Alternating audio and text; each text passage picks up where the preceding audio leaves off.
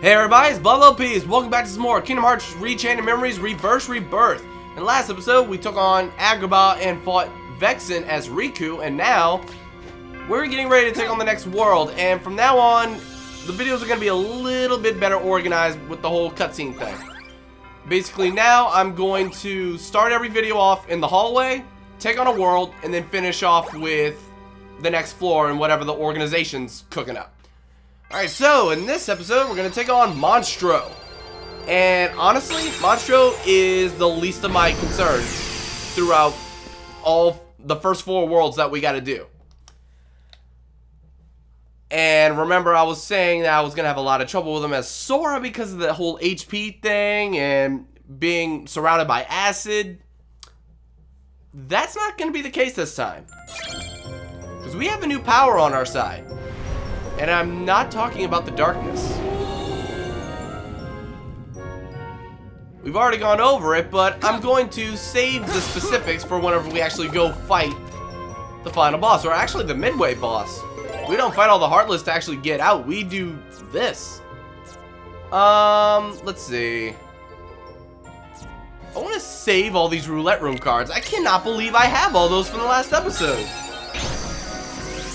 Like, if I can't get any card I want or need, there's a problem. How many do I have? Uh, not the... Well, I'll wait till I get to a door. Actually, I need to check where I'm going. Uh, I just gotta go straight. So, the hardest part about the world is actually navigating after you fight the boss so that you can get out. This is odd. Uh, but, alright, I'm gonna go ahead and play this too. I don't want to play Mingling Worlds because there's always that chance that there'll be a blue card. Like, I know all the worlds have required cards for the bosses, but I don't know them, like, off the top of the dome. I just go up to and say, oh, I need this? Okay, I've got it. Or, I need this? Let's go grab it with a roulette room. So, perfect room to actually use a roulette card. That, there you go. Blue. What'd I tell you?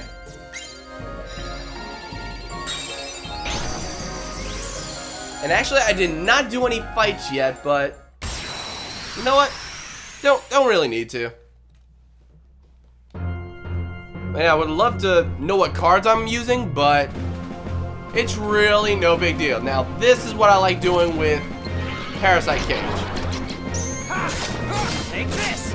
Like, break all his cards as fast as possible. Get in darkness mode. Oh, crap. Oh, wait, no, I didn't break the card. Darkness. Okay, now. Oh, crap. No. I don't have a six? Hmm. I think now you see where I'm going with this. I just didn't expect them to play a six. That was the one card that was not by me, and normally this is extremely easy.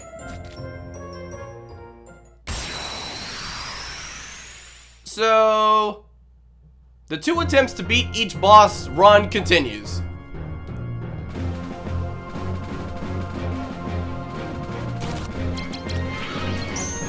Alright, once again, I'm just gonna keep doing this.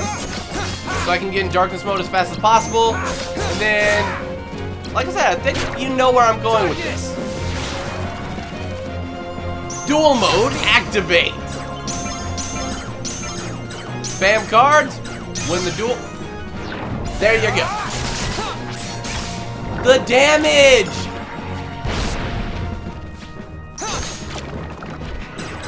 I like the double jump too because whenever you double jump, I don't even think I mentioned double jumping at all yet. You end up uh, doing a backflip that puts you behind whoever you're locked onto. Okay, now, Mickey, I need you. I need this too. Your Majesty. Okay, heal me. Get a little bit. Oh, crap. Oh, crap. And here it comes. Mickey, get out the... Get out the ass, acid, Mickey. Where... Where Mickey? What? Where's Mickey? Like, card just never appeared. Alright, Parasite Cage.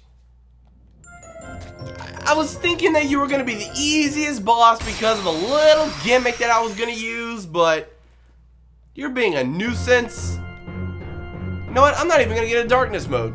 I'm going to fight you just like this. All I'm going to do is break. Perfect. There we go. Still some good damage.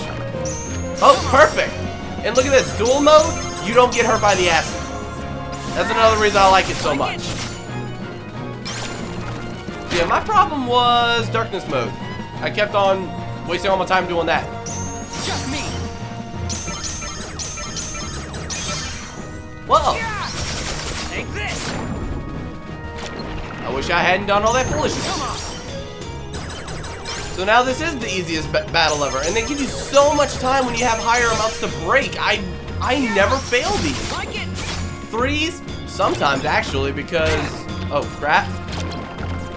Ha, ha. Your Majesty. Okay, do a little healing. Again. Your Majesty. Come on.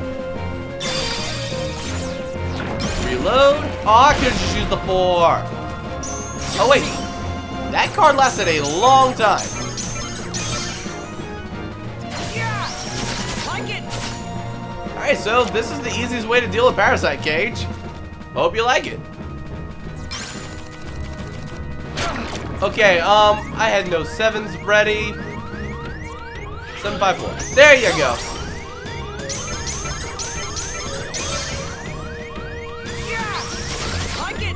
Can I get a Mickey card? Or six? There you go! Add a game! Add a game!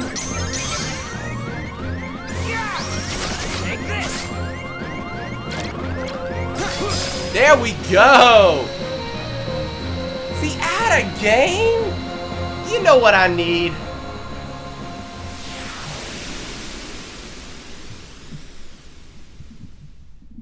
So yeah, I guess I shouldn't have rushed darkness mode. That was my biggest problem. Just straight up duel mode. There you go. Okay, with that level up, I'm gonna boost my attack. And now I want to see what the Parasite Cage does. Because honestly, when I played as Sora, I never, ever, ever have used any of the boss cards that I've ever gotten.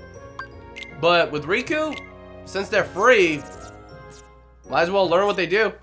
Alright, let's see. Absorbs enemy HP when striking with attack cards, but fewer items drop. Wow, okay, so that's what the Search Ghost does. I've never even seen that thing. Um, alright, al always nullifies the enemy card. Oh!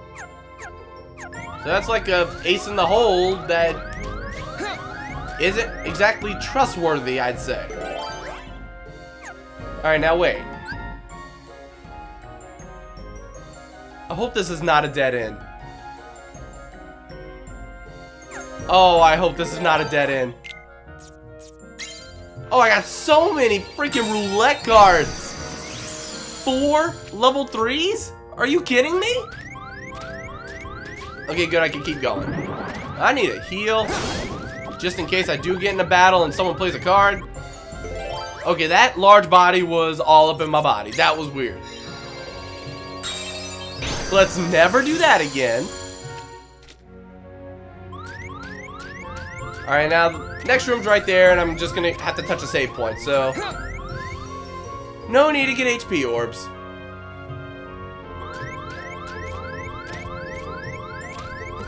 Now let's climb the giant bone ladder?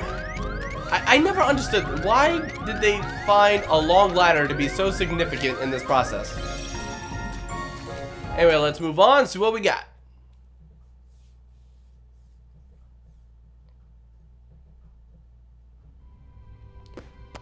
Okay, and there may not always be cutscenes as soon as you come out the room, you're actually gonna have to climb a flight. There you go. What's happening to Sora? Namine's powers are being used to shuffle his memories as we speak. Marluxia may well succeed in getting his puppet. Sora would be a valuable asset to the organization. But Marluxia and Larxene's actions, they leave me quite uneasy. And then there is Axel. Who knows what that one is thinking? Vexen should take care of this. His replica is soon to be completed. But Vexen despises Marluxia. Think of the mess it would make. So we must tell him. Isn't it better that Vexen clean up the mess than leave it to us?